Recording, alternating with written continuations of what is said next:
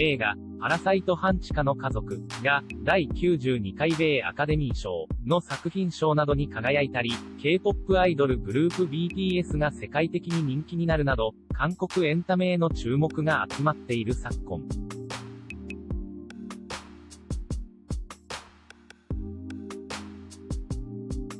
写真、ブーム再燃中、ネットフリックスで見れるおすすめ韓流ドラマ転戦韓流ブームが再燃している中、韓国ドラマや映画にハマってしまう人たちが続出中。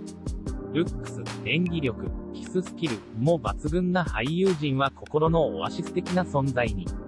今回は、今こそ知っておきたい韓国イケメン俳優たちをピックアップ。